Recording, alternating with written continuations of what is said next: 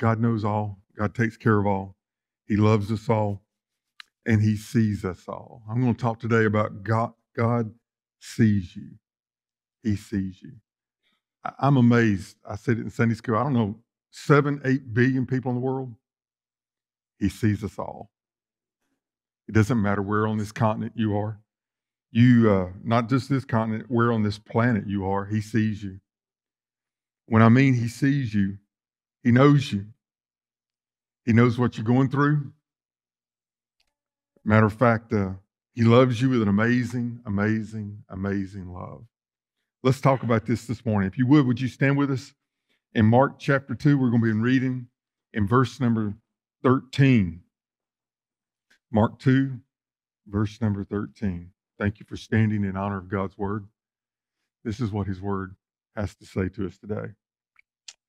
Then he went out again by the sea, and the multitude came to him, and he taught them. As he passed by, he saw Levi, the son of Alphaeus, sitting at the tax office. And he said to him, his messages were a whole lot shorter than mine. Follow me. But he had a greater impact than my messages, too. So he arose and followed him. And it happened as he was dining in Levi's house that many tax collectors and sin- sinners also sat together with Jesus and his disciples, for there were many, and they followed him. When the scribes and the Pharisees saw him eating with the tax collectors and sinners, they said to his disciples, How is it that he eats and drinks with tax collectors and sinners? When Jesus heard it, he said to them, Those who are well have no need of a physician, but those who are sick. Hear these words I did not come to call the righteous, but sinners to repentance. Let's go to the Lord in prayer. Now, Lord, sitting high and majestic upon the throne, God of love, always living in presence of grace, always willing to give mercy, seeing us as we are, seeing us in love, desiring your best for us. Lord, I'm grateful that this world doesn't depend upon me. I'm grateful that my life doesn't depend upon me. It's just simply a gift from you. So often we're blind to your presence and your work, your glory. But Lord, I pray today, let us see Jesus because we know that you see us. So, my Father, my Savior Jesus, send the Spirit today, your Spirit, your love. May He uh, wrap us up in your love. May we have a chance to be removed from this world for this moment in time and just to be at your feet.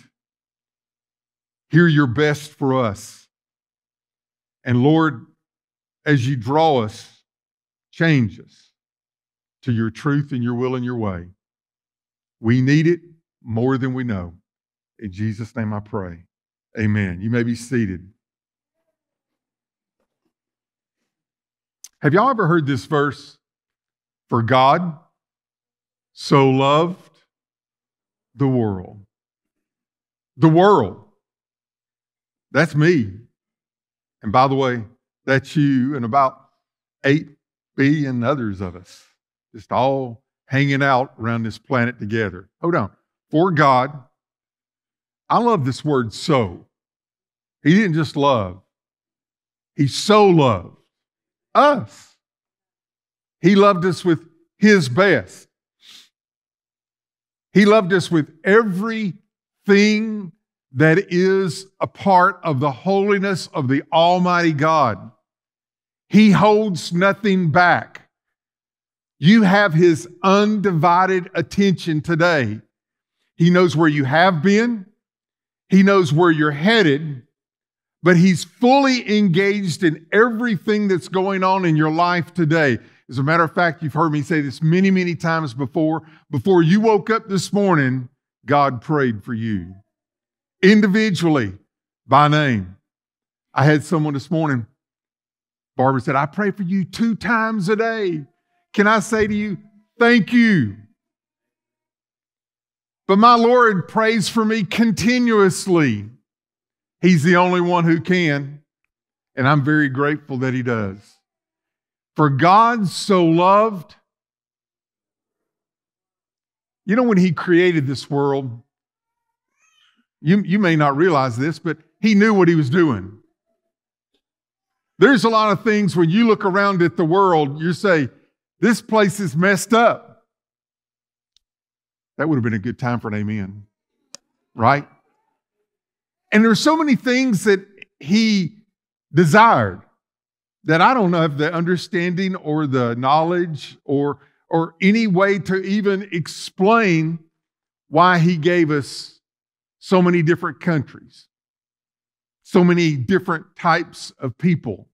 Oh, you can say, well, it goes back to the Tower of Babylon. Okay, sure, that's understanding in my head, but once again, this was part of his plan. How many races why is it that some of y'all are tall? Some of y'all are bigger. What was it, Jared, that Rick said about you? Bigger? I guess he was saying you, if, if you can fit in that chair, I guess the rest of us can. Right? I don't know. uh, Charles, I don't know if he wants chairs or not. He says he has to play, have a place to put his Bible and his drink. I said, Well, just don't take a bath and nobody will sit close to you in church. It'll be just fine. we have a lot of differences, don't we? We have a lot of things that we believe that are differently than other people believe. We live in a world of conflict. It's always been this way. I mean, the first family and I'm not talking about the one in the White House. I'm talking about Adam and Eve, right? The first family had a boy, their oldest killed the second son. I call that conflict. I can just imagine the tears that Eve shed for both boys, for both boys' sake. Looking at them, but yet still loving. She loved Cain and Abel. And yet they are synonymous when you think of Cain and Abel, you think of conflict. We have conflict. There's so much hatred and so little understanding. There's so much division, so little unity, so little decency, but so much rudeness so much division, so little patience, so much judging and so little listening, so many people taking sides, but so few that come together. And we also have so much loneliness and so little of God's love. By the way, today we still have racism, and it may even be reverse racism. Social status still divides people today. We still and we will always have the haves and the have nots. Jesus said, You will have the poor with you always. Now, a lot of people in this world think they have the answer when they don't have a clue. We live seeing with our eyes wide shut. We don't see anything at all. So many people feel invisible. So, what do they do? They shout loudly. I guess it will always be this way. But the one thing that they need is they need the message of the love of the uniter the one who can take anyone who will and make them part of the family of God. Where we will live, listen now, in unity and love, in peace and happiness, in joy and together forever and ever and ever. That is so foreign to us. When we think of, we, we can't think of a day where we see someone who doesn't have an argument or a disagreement and they just judge that person because they're not like them. And we're all that way. We're all that way. Um, God always brings the message. I knew what I was going to preach today for a little while as I preached through the book of Mark. I went to the hospital this week. Sandra Dorsey's going to have surgery tomorrow, 6:40 in the morning. You can pray for her. She's going to have open heart surgery. Went to see her Friday evening. Might as well. We didn't have power at the house. How spoiled we are. One day without power, and I'm, I'm, I read almost a whole book. I told Doug I read it with a clicker in my hand. No, I didn't, but you know, remote control. Y'all have one of those? I mean, it's just so it fits in my hand so well, you know. Read a book and turn it with a clicker. I don't understand.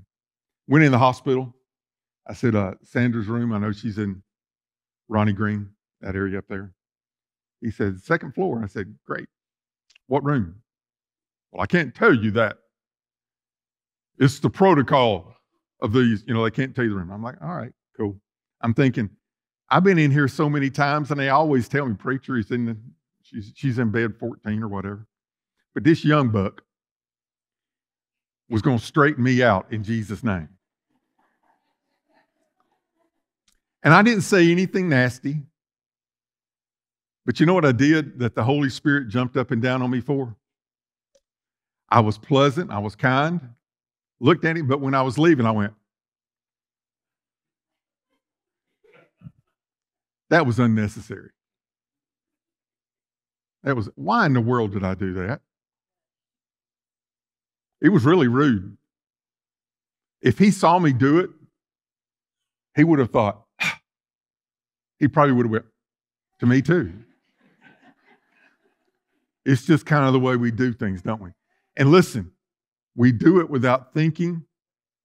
We do it without having any understanding because it simply and naturally flows from us and our ego and our pride and our desires that the world is not meeting. And we, if we're not careful, we will live in brokenness even if you have the uniter in your heart. Jesus, it says, here he had just gone from one place where all the people were following him, verse chapter 1, verse 33. The whole city gathered together at the door. And, and it, goes on to say, um, we never saw anything like this. And in chapter 2, verse 12, everywhere that he went, crowds gathered together. Chapter 2, verse 4. It, it, it's people were drawn to him. So here it says in verse 13, he went out again by the sea. Not just because it was beautiful, but I like being on the seashore, seeing the mountains that are around. And the Sea of Galilee has mountains all around there. And you, you get to, it's just enjoyable to be out and walk like that. Maybe he needed a little time away. Maybe he had a little time to pray. But, but listen, everywhere that he went, the crowds followed him. They followed him. They came to him. But hear this he also went to them. Sometimes in church, we're just waiting for people to come. We never invite them, but we're just waiting for them to show up. Now, hold on. I am good with you inviting people to church. That's a good thing, amen? You may say, Well, I, I feel uncomfortable about telling them to tell them about Jesus. Invite them to church. I don't feel uncomfortable telling them about Jesus. If you don't want to share with them, bring them to me. I'll share with them Jesus. I don't have a problem with that. That is my heart's desire. But please understand this Jesus wants us to bring people to Him, but He also went to them. There are people that aren't going to come here, but they need somebody to tell them about the Lord. Jesus knew it was his mission to teach them. That's what it says here. Then, then he went out again by the sea, and the multitudes came to him, and he taught them. That's what it was about to connect with the people so that they could connect with God. You're going to have to have something that ties us together. I know as a preacher, sometimes people can be put off with me just knowing that I'm a preacher. You've got to connect with people. You got to let them know that, that you don't have horns. Or, you know, my, my head's getting more bald every day, so my horns are showing a little bit more than normal. But somehow you've got to let them know that you care. They don't care how much you know until they know how much you care.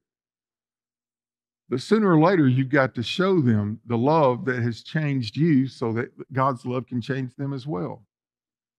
God has not taken us out of this sinful, broken, divided world. He's put us in it to serve Him, to love others through Him. He taught them, He cared for them, and He taught them. But then it says in verse 14, as He passed by, Listen, he saw Levi. He didn't just see people, he didn't just see a crowd, he didn't just see a multitude. The spotlight of God was lit up in Jesus' heart towards Matthew.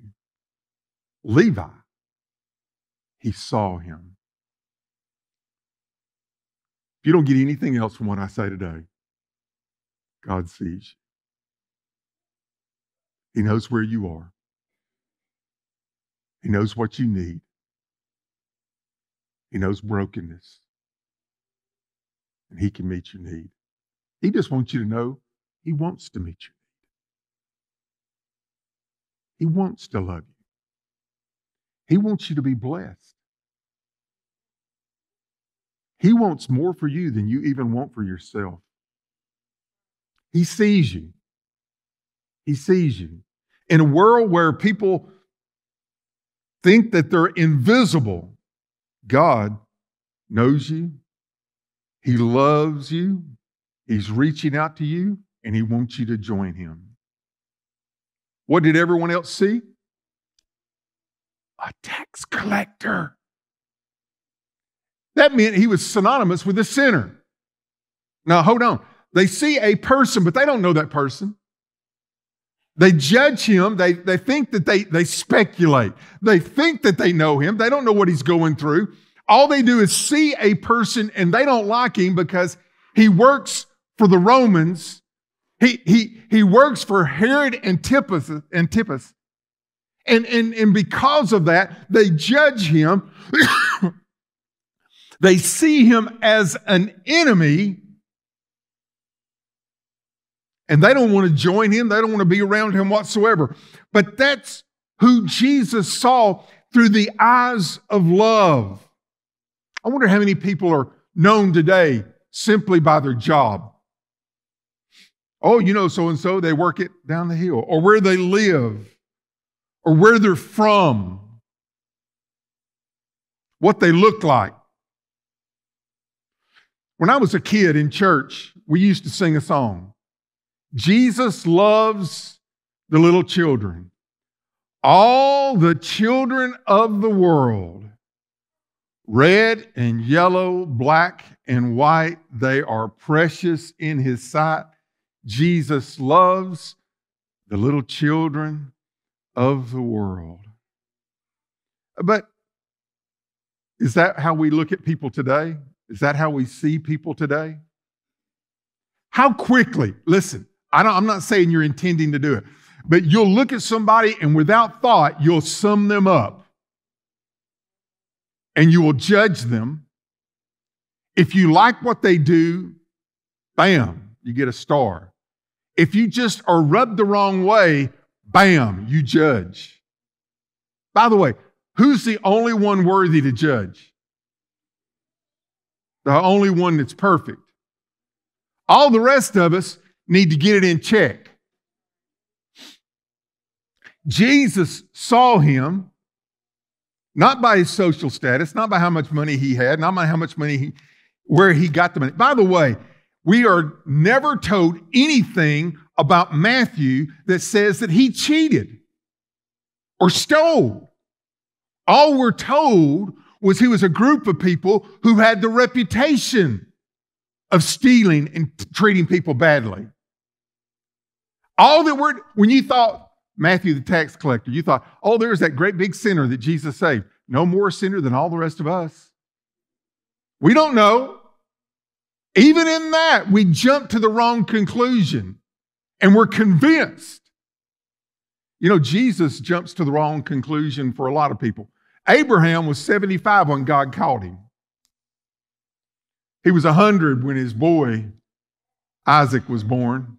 112 when he took Isaac up on top of that hill and laid him on the altar and trusted God enough to raise the knife to take his life because he knew that God would restore him.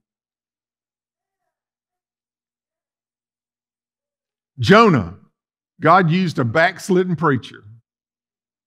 By the way, God still uses backslidden preachers. Gideon, smallest tribe. Moses, he stuttered. Joseph, hated by his brothers, sold into slavery, spent his years in jail. Jacob, who God changed his name to be from Jacob to Israel, the 12 tribes of Israel. He was a scheming cheat. And by the way, his boys were as mean as could be. Daniel, the forgotten teenager.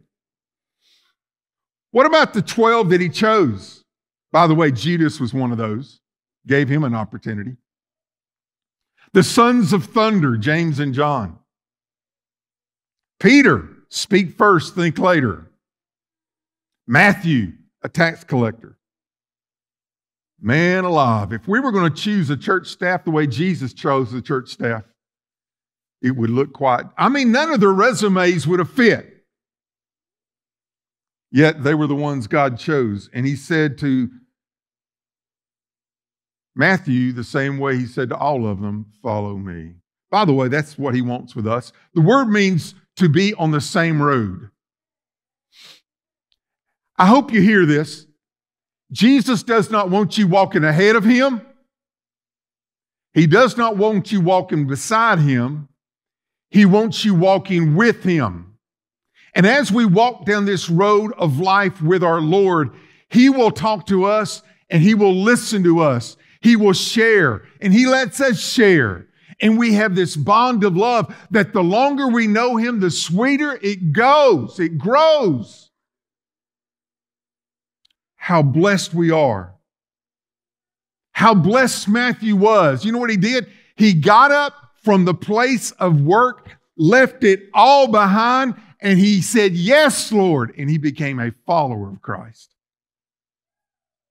Nowhere in here does it say that Jesus said, Now, this is what I want you to do. I want you to do A, B, C, D, E. And if you do, then you can be my follower. He took him the way that he was and made him into what God wanted him to be. Amazing. That wonderful Gospel of Matthew, the reflections with the amen of the Holy Spirit that we need to learn about even today. Know about it today. Now, verse 15. Now, what happened is he was dining in Levi's house. Now, it doesn't say here that, that, that Matthew uh, said, or Jesus said, Matthew, we're going to, your house today, you're going to cook for it. That's not what it says. I don't think Jesus was that presumptuous. Matthew said, Lord, I would be honored if you would come, you and your disciples would come and eat with me.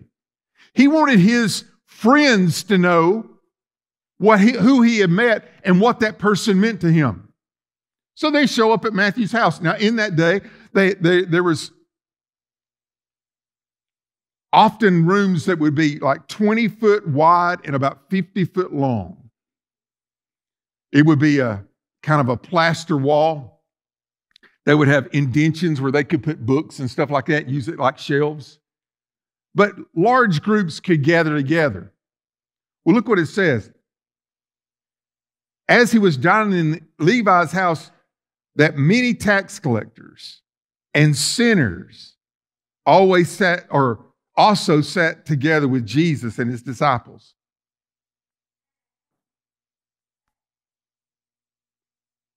Is there part of you that wants to go, uh, he did what?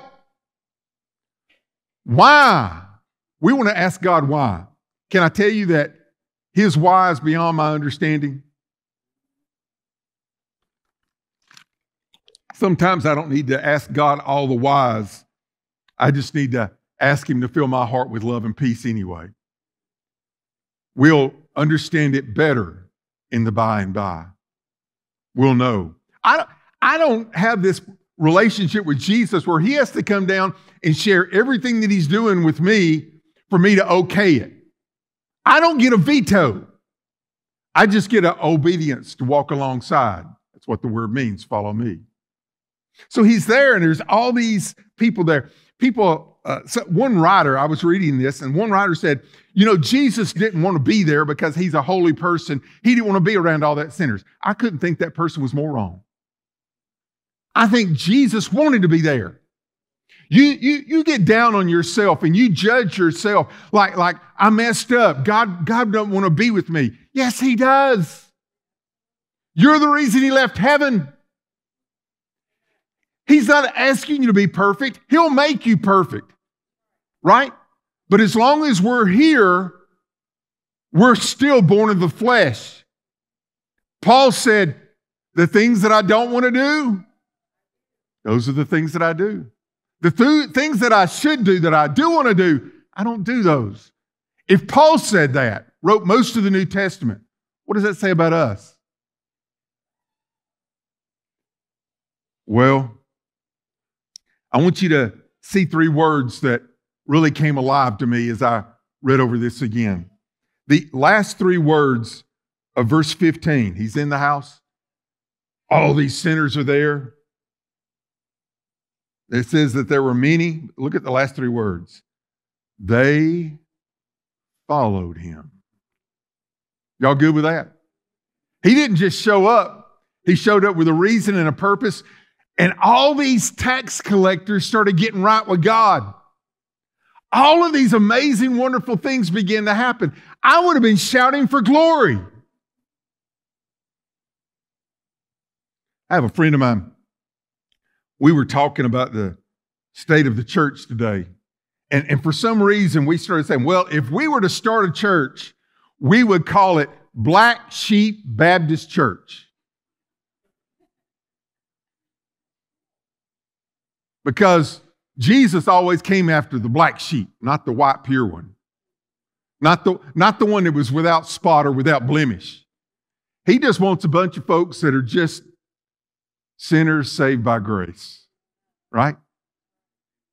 You know, there are people, you may not know this, and you have a loving heart. I understand this, but you may not know this, but there are people who feel like that they're not worthy to come to this church. They're afraid that if they came into that church, they don't know anybody and they will be judged.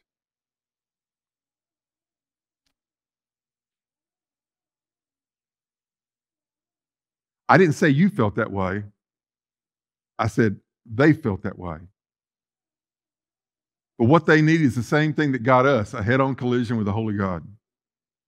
He will take you from where you are and make you ready and able to take you wherever He wants you to be. Now, you might get frustrated at God because God doesn't do what you want, when you want, how you want it, but that's okay. God still got best. And I've learned it better as the days go by. I love the casting crowns song. He will, he will, we will praise him in the storm. That was a good word this past week when the storm went right over us. Where I live, the, the tornado went about uh, less than a half a mile from us, right? The hurricane, I mean, it went dead over us. Liam was worried because Jody was sleeping upstairs and she didn't want a tree to fall on the house and kill Jody. She wasn't worried about me,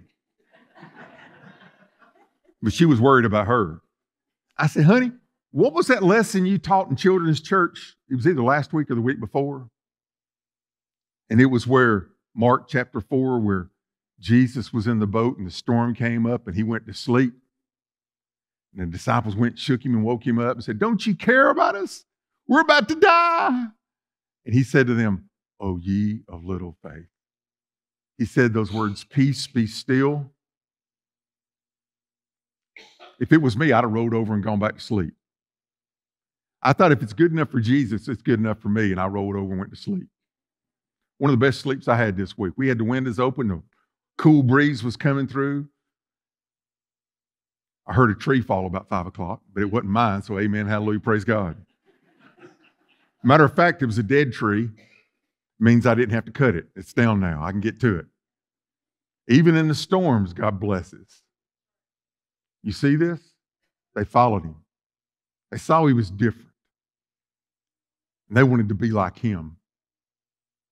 Well, if I was going to start the Black Sheep Baptist Church, I would not want it to be the Haughty Holy Church. Y'all ever been to the Haughty Holy Church? I mean, things got to be a certain way, and they're the ones in charge, and uh, they they almost I you, I I don't like those preachers that go God. Right. I mean, you say God, but when they preach, they go, you know, Lord God. Where's that come from? It's like there's a holy heavenly language that they have to use when they're in the pulpit. I don't get that. Nobody shared that word with me. These haughty, holy people who had 16, 613 laws that they were going to uh, say that everybody had to follow, and they were part of the Pharisee poli- police department, and they were going around writing tickets for everyone who didn't do things the way they, shot it, they thought it should be done. Well, they show up too at Levi's house. Look in verse 16. When the scribes and the Pharisees saw him eating with tax collectors and sinners, they said to his disciples, How? I think this is just, this is the, this is the word of the haughty group. How is it that he eats and drinks with tax collectors and sinners? How dare he? because they didn't approve. Let me just get to it. Jesus knew it, he heard it. So he said to them, Those who are well have no need of a physician, but those who are sick. I, I, I know that there are doctors that get frustrated because all these healthy people keep coming to them.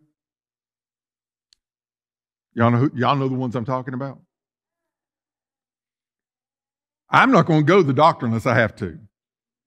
Matter of fact, I'm going to go to the doctor because my wife makes me. How many men can I make, amen that? I'd rather stay home. They never tell me any good news. Oh, bless you, you're the healthiest person I've met today. If you feel like going to the doctor, you don't feel good. But if you are sick, aren't you glad that they're there? to help you feel better. He said, Look, I didn't come for all you self righteous people who don't think you're sick, even though Jesus knew that they were. They had a terminal illness called sin. But they didn't see that because they had self righteousness. So they could judge. Y'all hear me? but they thought that they were good. This message is not for you today. This message is only for the sinners. If we could just get the sinners in the church, God's will could be done. I have a gift called sarcasm. I, I'll talk to the Lord about it when I get home to heaven. But there was a church that I was at, and I got a big stop sign. And I stood on the front steps of the church and I said, Stop. Only perfect people. Uh, no, I said, no, I said it backwards. I said, uh, no perfect people allowed inside. You know what we want inside the church? Imperfect people. The perfect people want to come and rule. They can straighten the world out. Just listen to them. They got an opinion. If we could just listen to their opinion. When I was in seminary, we'd sit around on the couch and we could solve all the world's problems. And then we forgot what the problem was 10 minutes later. We didn't even have a, but we had all the answers. You know, what we should be is a congregation of people saved by the grace of God and grateful. And grateful. Now, I know this church, and I know that you love people, and everyone that comes in that door, you're accepting to. I appreciate that. You want to show love, you want to show kindness. But I also know you're like the preacher, you can give looks, right? And you can be mad. And Satan always divides and conquers, and we let him. He always wants to break up relationships, and we let him. We don't lead with love, we lead with us. And it hurts and it breaks. Now, we're going to still be in this broken world of division and strife until the day that we see Jesus. But Mark saying with the choir, the king is coming. And we need to be found faithful when he comes. We need to be like Jesus. We need to see people and care for people and teach them and share with them the love of God so that they can know God too. And we don't need to worry about all the other people who've got all the answers. We just need to serve the one who has all the answers. We need to join with him. The only way you can tell is by not if they're perfect. No, they're not, nobody's perfect. But just seeing the blessings of God flowing from their heart and their life. Until the end, Jesus saw brokenness. Until the end, his disciples even left him. People spat at him.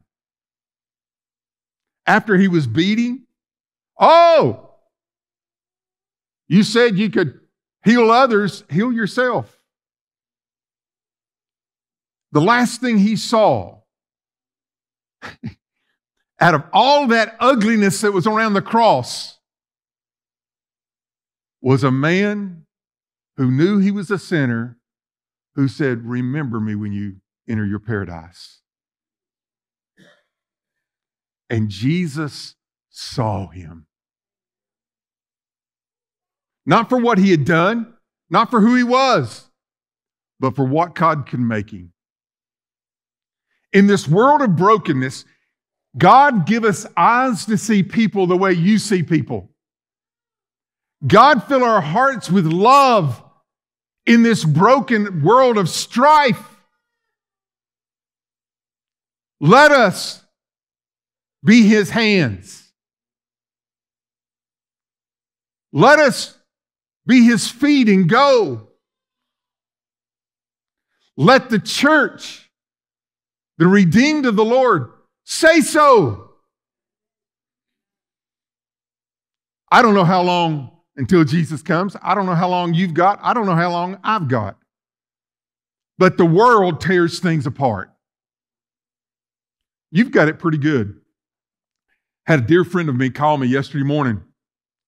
He said, uh, Pray for my father in law. And I knew as soon as he said that,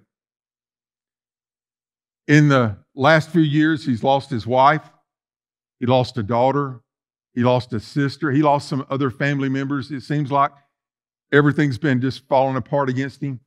He lives in Steinhatchee, Florida. Y'all remember when Debby came through? Bam. But guess what happened this time? The house, gone. All of his buildings, gone. You know what he owns now? A concrete slab. In a fishing town. But none of those storms can take Jesus away.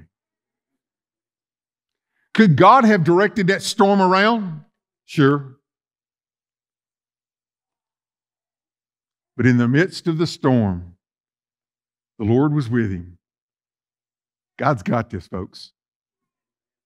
It doesn't matter. God's got this. So, what he wants a group of people to do, I hope you hear me, is to be different from the world. Let the world fight each other, not the church, not God's people. The world has a thousand distractions, but not us. We're about God's business. When we get to heaven, the one thing we will know, the one thing we will realize is that putting Jesus first is all that mattered. Don't be distracted. Don't get away from the call. There are a thousand good ministries out there. I'm, a, I'm for all of them. There's a thousand terrible things that are out there. I'm against them.